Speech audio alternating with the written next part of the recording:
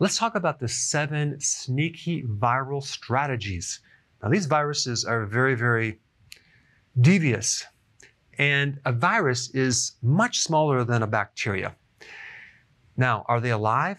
Not really. Are they dead? Not really.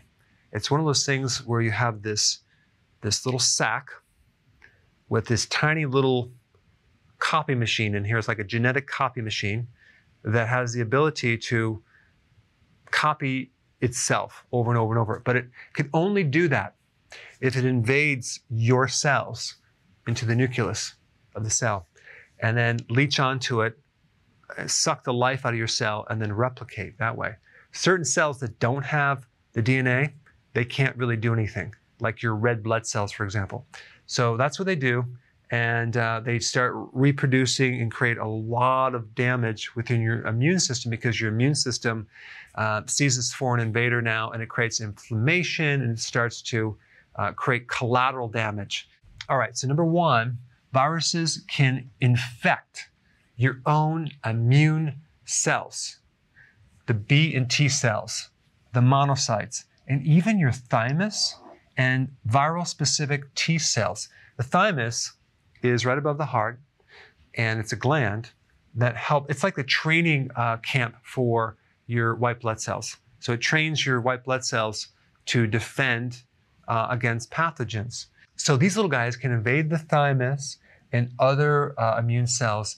Now, what happens now is that virus kind of becomes part of your cell and it's viewed as your own cell by your own immune system. So that's one sneaky way it goes underneath the radar and it doesn't get detected. All right, number four, viruses have the ability to escape antibody response. So think about this a virus, the shell of a virus has a little protein on it, and it's like a little flag that your immune system can see and tag and go after, right? Well, these little special proteins or little flags can be hidden by the virus. So our own immune system cannot find them. And so you have this delayed immune response until after the infection has set in. Very, very sneaky. All right, here's another scenario. Number five, you can have two viruses invade one cell. And then what they do is they work together to rearrange those proteins on the outside of the cell so they can escape um, attack from our own immune system. All right, number six, escaping what's called cytokines, which are signaling molecules for the immune system. They're involved in inflammatory responses, and viruses can sometimes escape these little guys right here. So there's no inflammation. There's nothing for your immune system to indicate that there's a virus there. All right, number seven, certain viruses can downgrade vitamin D receptors. What does that mean? It means that it blocks your ability to absorb vitamin D. And vitamin D is intimately involved in controlling your immune system. So without vitamin D, you're going to be more susceptible to viruses and you don't have that protection anymore.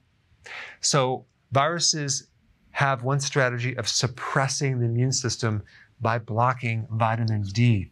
This is why you see so many diseases involved with an associated low vitamin D condition.